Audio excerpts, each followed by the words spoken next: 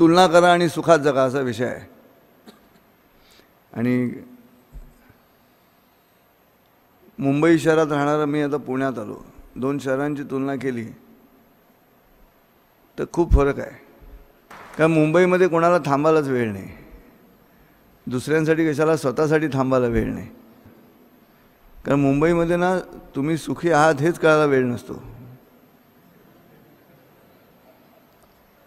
तुम्ही सतत रांगेत असता.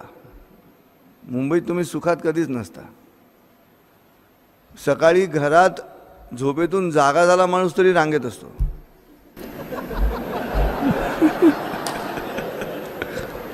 अंतरुणातून उतरले की कोण गेलंय? इथूनच सुरुवात आहे. ते सेकंदावर चालणारं शहर आहे. त्यामुळे असं घडतं. पण माणूस आयुष्यभर सुख ही संकल्पना जी आहे ती तुलनात्मक दृष्टिकोनातूनच अनुभवत असतो. म्हणजे बाहेरून आत येणाऱ्या प्रक्रियेमध्येच सुख शोधत बसतो आणि तिथे अडचण आहे. खरं सुख आतून बाहेर पडणाऱ्या प्रक्रियेमध्ये शोधायचं असतं ते न शोधता सतत बाहेर काय घडतं त्याच्यावरती अवलंबून असतं. आणि मग हे बाहेर घडणाऱ्या तुलनात्मक जगामध्ये स्पर्धा ईर्ष्या या सगळ्या नंतरच्या ज्या गोष्टी विकल्प तयार होत राहतात त्याचं कारण तुलनेमध्ये गेल्यामुळे अडचण आहे. मग घरात तुलना आहे मोठा भाऊ धाकटा भाऊ त्या दोन भावांमध्ये तुलना आहे. प्रत्येक घरात आहे ती तुलना. अगदी तुम्ही प्रेमविवाह केलात तरीसुद्धा लग्नानंतर मी आणि बायको अशी तुलना करणारे पण आहेतच की मी बायकोपेक्षा हुशार आहे. अशी एक ठाम नैसर्गिक भावना पुरुषांकडे असते. मग पुन्हा तुलनेचाच मुद्दा आला तो सतत मग साऱ्या जगामध्ये जसा प्राणवायू आवश्यक आहे तसं जगण्यासाठी तुलना पण आवश्यक आहे.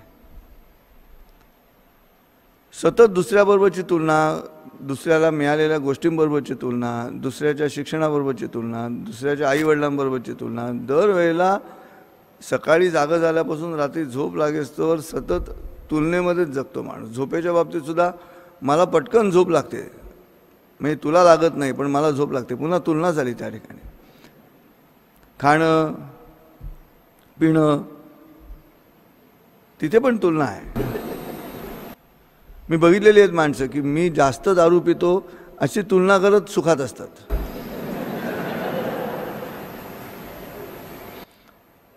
म्हणजे हा अविभाज्य भाग आहे जगण्याचा तुलना. हा मग तरी जग अस्वस्थ का होतं? तर ते तुलना करण्याची जी दिशा आहे ती ऊर्ध्व दिशा ठेवायची की अधो दिशा ठेवायची त्याच्यावरती सुख अवलंबून आहे. सहसा माणसं ऊर्ध्व दिशेची तुलना स्वतःबरोबर करत राहतात आणि मग ईर्ष्या असूया हेवा हे सगळे रिपू तयार होतात शरीरामध्ये. तुलना जर अधोमुखी केली तर लक्षात येतं की मी बेटर पोझिशनमध्ये आहे त्या माणसापेक्षा. मग त्याला या ज्या गोष्टी मिळालेल्या नाहीत त्या मला मिळालेल्या आहेत ह्या आनंदामध्ये माणूस राहू शकतो. त्यामुळे माझी सगळ्याला विनंती अशी की हा विषय निवडायचं कारण सुखी व्हायचं असेल तर ऊर्ध्वमुखी तुलना न करता ती अधोमुखी तुलना करता येईल का बारीक सारीक दैनंदिन जीवनामध्ये येता जाता हेच चालू आहे सगळीकडे. म्हणजे हॉटेलमध्ये जाऊन बसलात तुम्ही आणि वेटर आला. आणि तुम्ही त्याला सांगितलं एक प्लेट इडली. अशी तुम्ही ऑर्डर दिली. त्याच वेळेला बाजूच्या टेबलावरचा माणूस वेटर त्याच्याकडे जातो. आणि हा वेटर निघून जातो आपली इडलीची ऑर्डर आणायला. दुसरा वेटर ह्या माणसाकडे येतो तो विचारतो काय घेणार तुम्ही? तर तो माणूस सांगतो इडली वडा. आणि मग आपल्या प्लेटमध्ये दोन इडल्या आल्या. आणि त्याच्या प्लेटमध्ये इडली वडा आला तुलना सुरू झाली. की मी पण वडा सांगायला पाहिजे होता काय? मग त्याला एकाच पैशामध्ये दुसऱ्या पदार्थाची पण चव कळणार आहे आणि मला बिचाऱ्याला दोन्ही इडल्याच घ्याव्या लागणार अशी तुलना सुरू करतो. मग माणूस अधनमधनं इडली खाता खाता त्या वड्याकडे बघत बसतो. बाजूच्या. आणि एकदम सडनली तुम्ही इडली खात असताना तो कस्टमर त्या वेटरला जोरात हाक मारतो. इकडे रे. तेव्हा आपण वळून बघतो तर केस आलेला मेदू वडा तो असा उचलून दाखवतो. वेटरला हे काय वड्यामध्ये? केस आला म्हणून. त्या क्षणाला आपलंच मत बदलतं आणि म्हणून बरं झालं आपण इडली मागवली मानवी स्वभावाचं लक्षण किती लवाड आहे तो. दोन मिनिटाच्या अंतराने त्यांनी स्वतःचं मत बदललं. आधी वडा हवा होता आणि आता वडा नको आहे. सुख मिळवायचं असेल तुम्हाला आयुष्यामध्ये सुखात जगायचं असेल तर हा तुलनेचा जो मुद्दा आहे तो जेवढा तुम्हाला नदीच्या उगमाच्या दिशेनं जशी आपल्याला प्रवास केला तर जास्त गंमत येत राहते. तसं या तुलनेच्या उगमाकडे जायचा प्रवास सुरू केला की तुमच्या पदरामध्ये सुख यायला लागतं. बारीक बारीक बारीक बारीक. मा मला माझ्या चेहऱ्याला फेशियल पालसी आहे माझी एकच भुवई उडते माझा हा डोळा बारीक राहतो हा डोळा माझा मोठा राहतो. लहानपणी पोलिओ झालेला तीन वर्षाचा असताना आपण लगेच डॉक्टर घरात वाचन उपलब्ध असल्यामुळे कळलं की ही लक्षणं पोलिओ झाल्याची आहेत. मग लगेच डॉक्टरकडे नेऊन मी वाचलो. मी दरवेळेला तुलना करण्याच्या प्रक्रियेमध्ये स्वतःला दुःखी करू शकतो. हे असं झा असं झालेलं आहे. मी हसताना माझा एक डोळा बारीक होतो. तो डोळा बारीक होतो म्हणून शाळेत मार खातो. की एकच डोळा बारीक होतो ह्याचा म्हणून. प्रत्येकाला मी सांगू शकत नाही की मी पोलिओचा पेशंट आहे म्हणून. तेवढं पेशंटली कोणी ऐकणारं नाही. पण मग मी सुखी कसं व्हायचं? मी सतत माझ्या या चेहऱ्याच्या वाकडं होण्याच्या प्रक्रियेमध्ये मला चिडवणाऱ्या माणसांना तोंड द्यायचं ती माणसं चिडवत आहेत गोरा गोरा बारीक डोळा गोरा गोरा बारीक डोळा. मग मी बघायचं कोणाकडे? तर मी अंध माणसांकडे बघायचं. मी ज्याचा एक डोळा ज्याला नाही आणि एकच डोळा आहे अशा माणसांकडे बघायचं. काय केलं? मी तुलना अधोमुखी केली ऊर्ध्वमुखी करण्यापेक्षा. म्हणजे ज्याला सुंदर डोळे आहेत असाच गोरा आहे उंच आहे आणि चांगले डोळे आहेत म्हणून तो नाटकामध्ये किंवा सिनेमामध्ये हिरो होऊ शकला. आणि मी जेव्हा गेलो निवडीसाठी कास्टिंगच्या हिरो म्हणून तर तो डिरेक्टर म्हणाला तुम्ही व्हिलन व्हा. कारण तुमचा एक डोळा बारीक होतो. एकच भुवई उडते. ही हालतच नाही. मग मी लगेच वेगळ्या पद्धतीने बघतो स्वतःकडे.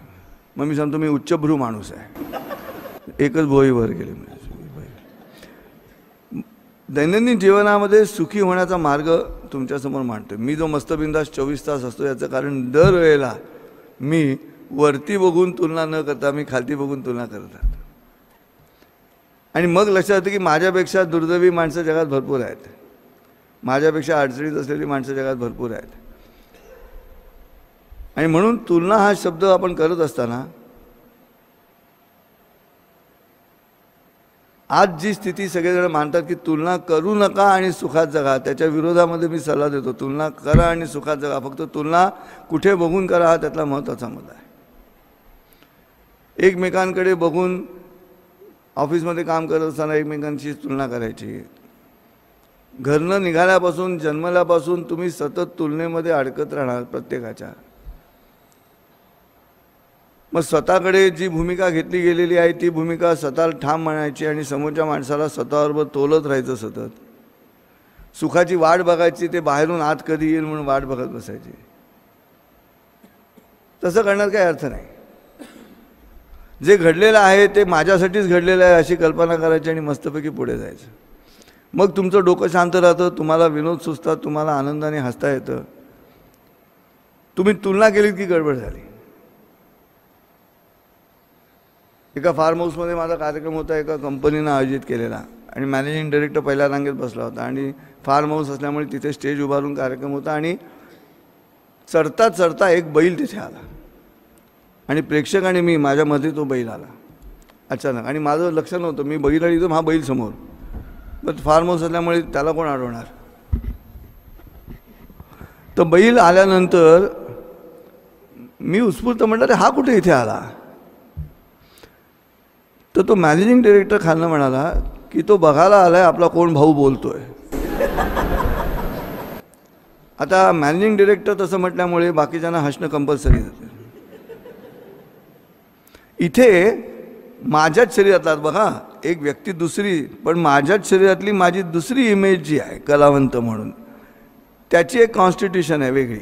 आणि त्या कलावंताशी आत्ता जो संजय उपाध्ये तिथे बोलत आहे तो कसा वागतो त्याच्यावरती तुमची पुढची प्रतिक्रिया किंवा प्रतिसाद अवलंबून असणार आहे. त्यामुळे माझ्यासारख्या आर्टिस्टला हा असं म्हणतो सगळ्यांच्या देखत की आपला कोण भाऊ बोलायला आला आहे इथे मी ऊर्ध्वमुखी तुलना केली की संजय उपाध्ये काय फॅन्टॅस्टिक आर्टिस्ट आहे आणि he is being insulted like this अशी तुलना करायची मी की मी तशी तुलना न करता जेव्हा डोकं शांत ठेवतो त्यावेळेला मला पुढचा विनोद सुचतो आणि मग तो बैल असा म्हणणं पुढे निघून गेला. मग मी प्रेक्षकांना म्हटलं हा बैल माझ्याकडे बघून काय म्हणाला ठाऊक आहे? तर पुन्हा कोणाची हिंमत होईना. मॅने त्या डिरेक्टरची परत हिंमत झाली. म्हणा काय म्हणाला? असं खालनं मला विचारलं त्याने. म्हटलं हा बैल मला विचारतो आहे who is this guy who talked in between आता हा गाय शब्दावरची जी कोटी आहे ती त्या बैलाबरोबर बरोबर जोडली गेली. आणि हे कसं घडू शकलं? तर मी माझ्याच शरीरात असलेल्या दुसरी जी इमेज आहे माझी कलावंत म्हणून ज्या इमेजमध्ये मी सातत्यानं जगण्याचा प्रयत्न करतो मूर्खासारखा त्या इमेजमध्ये जर मी अडकलो नाही तर मला हे वातावरण असं शांत करता येतं आणि मी सुखी होतो. नाही तर पुढचा सगळा कार्यक्रम मी जर भडकलो असतो त्याच्या त्या वाक्याला एम डीच्या तर माझ्या कार्यक्रमावरती परिणाम झाला असता. आता एक तुलना बाहेरच्या माणसाबरोबरची आणि एक तुलना माझ्याच शरीरातल्या इमेजबरोबरची आणि तिथेही पुन्हा हे सुख प्राप्त होतं. एकोणीसशे पंच्याण्णवच्या दसरा मेळाव्यामध्ये जेव्हा हा मुद्दा आला शिवसेना प्रमुखांच्या आधीचं भाषण माझं त्यांच्या सूचनेनुसार. आणि जेव्हा ती एक लाख माणसं आयुष्यात प्रथम बघितली मी मैदानावरती आणि माझं भाषण माझी कविता सादर केली तरीसुद्धा आमच्या इथे सारं काही छान आहे आमचा देश महान आहे. अक्षरशः ते शिवाजी पार्क मैदान सगळे शिवसैनिक ओरडत आहेत लोक ओरडत आहेत जोरदार दाद मिळते. कोपरानं कोपरा त्या शिवाजी पार्क मैदानाचा मी विसळून काढला भाषणाने. आणि मी त्याच नशेत घरी गेलो. आता काय झालं एक खोटी इमेज मी माझीच घरात घेऊन घेऊन गेलो. तुलनेचा मुद्दा आणि अस्वस्थ आणि दुर्दैवी आणि दुःखी वाटण्याची प्रक्रिया इथे सुरू होते. मी ती जी इमेज आहे माझी त्या मैदानावरची वक्ता म्हणून त्याच इमेजमध्ये मी पार्ल्याला पोचलो दादरहून. बायकोनी दरवाजा उघडला आणि विचारलं कशी झाली कविता? कसं झालं भाषण? म्हटलं तू भांडी घासतेस ना विसळतेस ना तसं शिवाजी पार्क मैदान विसळून काढलं मी. असं मी माझंच कौतुक केलं. सोफ्यावर जाऊन बसलो. चहा टाक असं बायकोला आदेश. मग तिने चहा आणून दिला चहा पेलो आणि तो कप जाऊन मी स्वयंपाकघरात ओट्यावर ठेवला. आणि बायको म्हणाली शिवाजी पार्क विसळून आला असलास तरी कप विसळून ठेव. बघा इथे पुन्हा तो मुद्दा आहे. तुलना कोणाशी केली जावी कशी केली जावी इथे मी नवरा म्हणून तिचं वाक्य ऐकलं की बायको असं बोलते नवऱ्याला अशा भूमिकेत गेलो की मी पती पत्नीमधल्या नात्यांमध्ये पत्नीनं कंपल्सरी आदर दाखवलाच पाहिजे दरवेळेला अशा पारंपरिक भ्रमामध्ये अडकतो. आणि घरामध्ये तो दिवस पूर्णपणे डब्ल्यू टीमध्ये जातो. पाकड्या तोंडात. प्रश्न असा आहे की अध्यात्म म्हणजे तरी नेमकं शेवटी काय आहे? अध्यात्मामध्ये हा मुद्दा आहेच. आणि म्हणून मीच माझ्याशी तुलना करणं ज्याच्यामध्ये प्रमोशनल इन्क्रीमेंट करत मी मला सुधरवू शकतो का? मी माझ्याशी तुलना करत असताना की गेल्या वेळचा मी आणि आत्ताचा मी त्याच्या आधीचा मी आणि आत्ताचा मी अशी तुलना माझीच माझ्याबरोबर करत राहायची. लोकांबरोबर तुलना करण्यापेक्षा ह्या पद्धतीनं मी तुलना करायला लागलो की मी सुखात असतो. आणि ही सुखाची कल्पना ज्या ज्या माणसांना जमली की मी सुखी आहे याचं कारण माझ्यापेक्षा जगात दुःखी माणसं आहेत या वाक्यात अडकलं. म्हणजे काय केलं त्यांनी? तर प्राप्त परिस्थितीला तृप्त परिस्थिती म्हणायला सुरुवात केली. खारे दाणे खात असताना पुन्हा तोच मुद्दा आहे. तुलनेचाच मुद्दा आहे की मी खारे दाणे खातो आणि एक दातावर आपण खाली पडला. तर हातातले दाणे आणि पडलेला दाणा. तो पडलेला दाणा हा नेहमी सोन्याचा का वाटतो? माणसाच्या मनाला सायकोलॉजिकल चुटपुट राहते तो खाली पडला म्हणून. काय करावं? एवढ्या हातात आहेत. त्याच्याकडे लक्ष दिलं जात नाही. म्हणजे प्राप्त परिस्थितीमध्ये तृप्ती शोधण्याचा मार्ग हातात अख्खी पुढी उरलेली असताना जीव तुटतो त्या एका दाण्यासाठी दातावर आपण खाली पडला म्हणून. उरलेले सगळे दाणे तो असे खातो दातावर असं फेकत नाही. मग तीही मजा घालवतो असे उडवून खायची जी मजा आहे ती तो घालवतो असे स्वतःलाच भरवत बसतो. का? परत पडता कामा नाही ही मानवी मनाचा हा खेळ आहे श्रोत्यो हो. हॉस्पिटलमध्ये गेलात ना तुम्ही तुमचा माणूस आजारी आहे ना माझी खरंच विनंती आहे तुम्हाला. त्याच्या शेजारी बसायचं पण ज्या क्षणाला तुम्हाला दोन माणसं आहेत त्यातल्या एका सांगायचं तू बस मी आलो एक तासामध्ये. आणि कुठे जायचं? तर सगळं हॉस्पिटल हिंडायचं. सगळ्या वॉर्ड्समध्ये जायचं. आणि सगळ्या वॉर्ड्समध्ये जाऊन बघायचं. आणि मग लक्षात येतं तुमच्या की तुम्ही ज्या माणसाला भयंकर आजारी आहे आणि दुःखी आहे म्हणून बघताय त्याच्यापेक्षा भयानक स्थितीमधले पेशंट्स तुम्हाला तिथे अनोळखी जरी असले तरी दिसत राहतात. आणि मग तुम्ही आनंदी राहता. मग मी आनंदी राहतो. माझी बायको ॲडमिट असताना खुब्याचं हाड मोडलं तिचं ऑपरेशन आहे. पण मी आनंदी राहतो. मी विनोदी राहतो तिथे. रात्री अडीच वाजता जेव्हा सलाईन आऊट गेलं तेव्हा त्या डब्ल्यू टी करणाऱ्या नर्सला मी म्हटलं वाकडं तोंड करून बसली होती रात्रीचे. की सलाईन आऊट गेलं जरा तुम्ही लावायला येता का? आणि मी काळजीपोटी म्हटलं की ती पटकन सापडत नाही नर्स आपल्याला. जेव्हा मी तिला म्हटलं की एखादी एक्सपर्ट नर्स पाठवा. तर तिने चिडली. आता पुन्हा तोच मुद्दा की मी तिच्या बाबतीत केलेली अपेक्षा आणि ती नर्स तिची स्वतःविषयीची जी उमे तुलना आहे ती ती लगेच मिळाली चिडून म्हणाली मला की गेली पंचवीस वर्ष मी सिस्टर म्हणून इथे काम करते एकदाही असं घडलेलं नाही की मला नस सापडली नाही.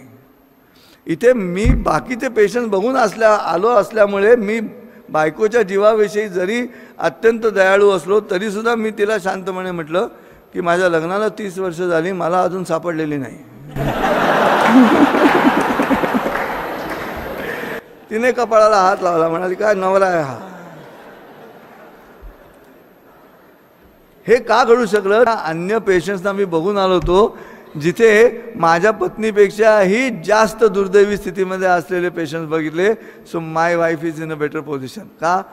व्यथेची तुलना करताना माझी व्यथा कमी दर्जाची आढळली. जेव्हा माझी व्यथा कमी दर्जाची आहे करण्यासाठी दुसऱ्यांच्या व्यथा मी बघतो तेव्हा मी सुखात जगतो तोपर्यंत मी सुखात जगू शकत नाही.